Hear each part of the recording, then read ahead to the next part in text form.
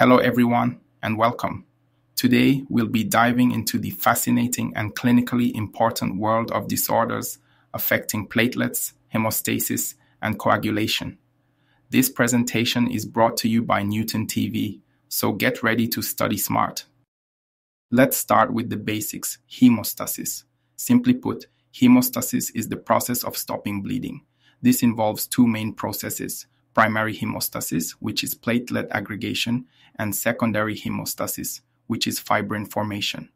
Ultimately, these processes work together to produce a clot or thrombus.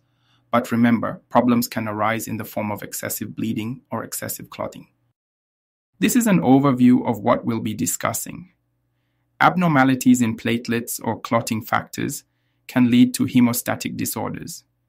Keep in mind the normal platelet range 150,000 to 400,000 cells per microliter. We'll also touch on thrombocytopenia, low platelets, and thrombocytosis, high platelets, and how medications, illnesses, and genetic disorders can affect hemostatic factors. Here's another overview slide, focusing on the steps involved in hemostasis and thrombosis. There are three major steps to achieve hemostasis vasoconstriction, platelet plug formation, and blood coagulation. Thrombus formation can occur in response to injury or sluggish blood flow.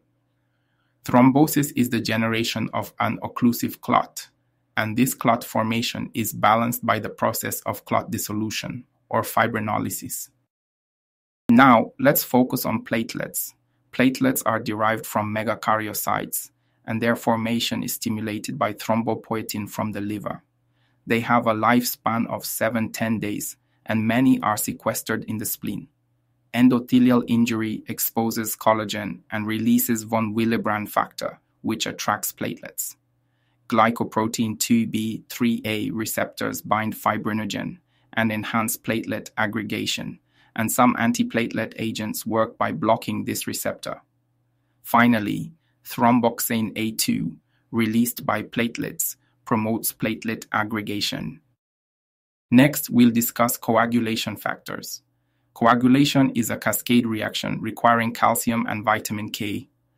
There are two pathways the intrinsic pathway, triggered by damage to the vessel, and the extrinsic pathway, triggered by damage outside the vessel. Both pathways ultimately converge at the same steps activation of factor X, conversion of prothrombin to thrombin, and conversion of fibrinogen to fibrin. Let's take a closer look at the extrinsic pathway. It begins with the activation of factor 7, which comes into contact with tissue factor to form a complex. This eventually leads to the activation of factor X. The clotting time of the extrinsic pathway is measured using the prothrombin time, PT, and the International Normalized Ratio, INR. Now, let's examine the intrinsic pathway.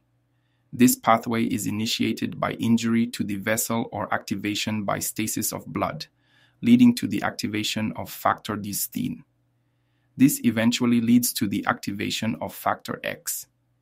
The clotting time of the intrinsic pathway is measured by the activated partial thromboplastin time, APTT.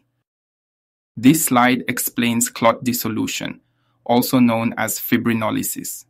Tissue plasminogen activator TPA, converts plasminogen to plasmin, which then breaks down clots. Recombinant tissue plasminogen activator, RTPA, also known as alteplase, can be used therapeutically to break down clots. Now we'll move on to clotting disorders. These disorders can arise from increased platelet number and activity or from increased coagulation activity. Let's discuss increased platelet number and activity.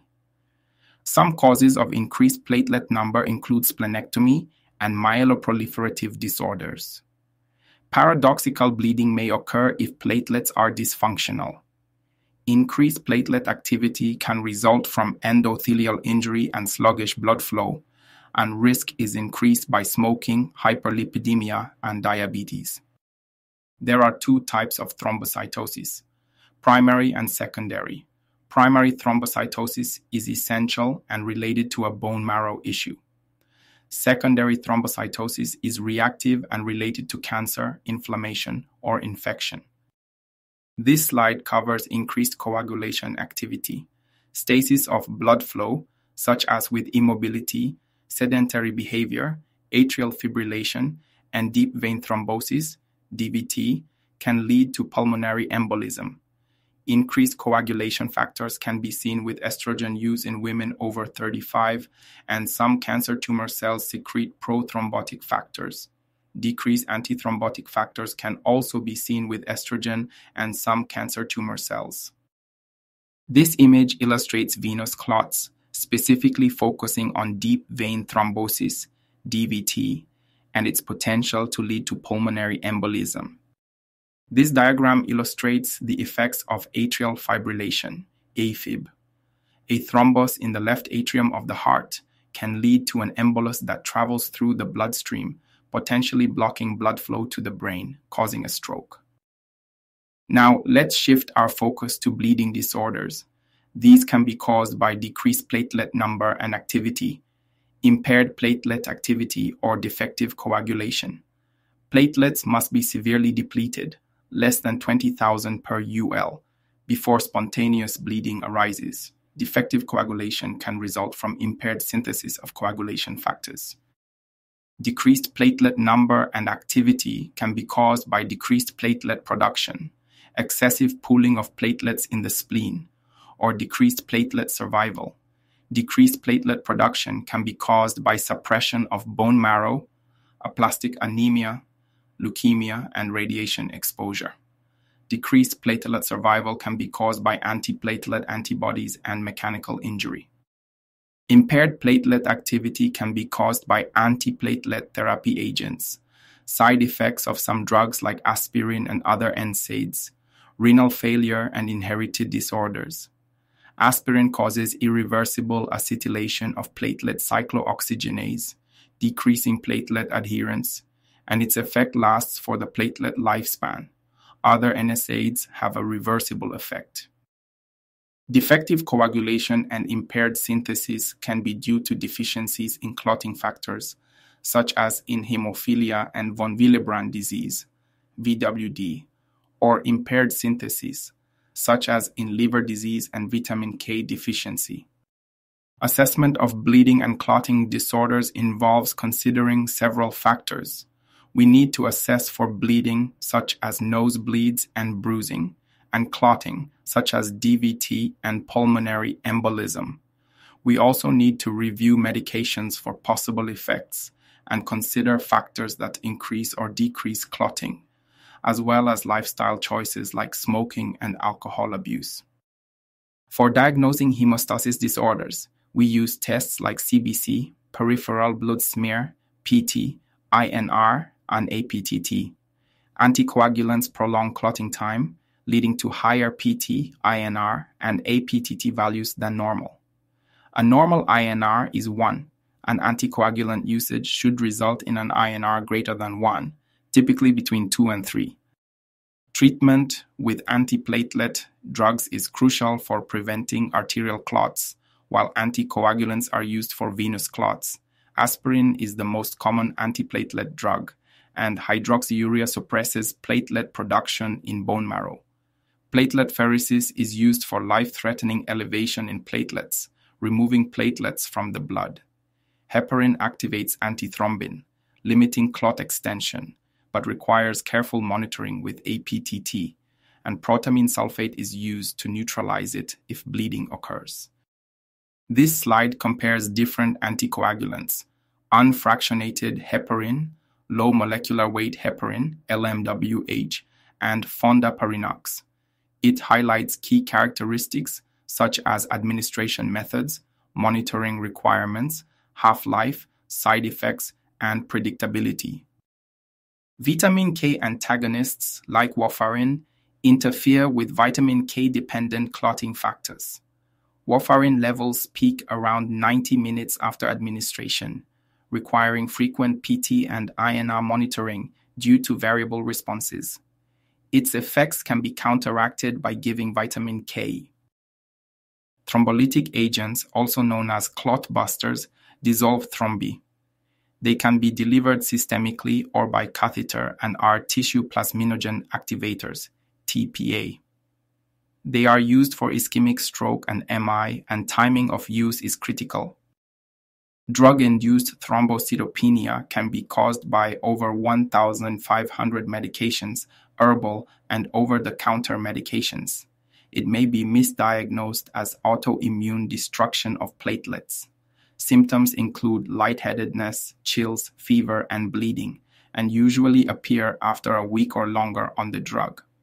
Treatment involves stopping the medication, which should resolve symptoms in several days.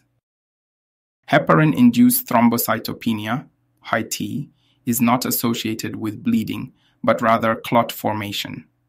It involves an antibody to heparin, and some individuals develop thrombocytopenia. It can occur with standard heparin or LMWH. Immune thrombocytopenic purpura, ITP, is a common autoimmune disorder involving autoantibodies to the GPIIB 3A complex. In children, it often follows viral infection and presents with petechiae and purpura and is normally self-limiting. Adults tend to have a chronic form. Diagnosis is by exclusion, and treatment includes IV immunoglobulin, platelet transfusion, and immunosuppressants. Thrombotic thrombocytopenia purpura, TTP, presents with thrombocytopenia, hemolytic anemia, vascular occlusions, fever, neurological abnormalities, and renal disease.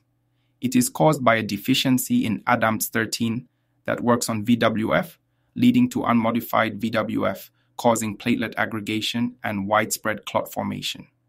The onset is abrupt and may be fatal.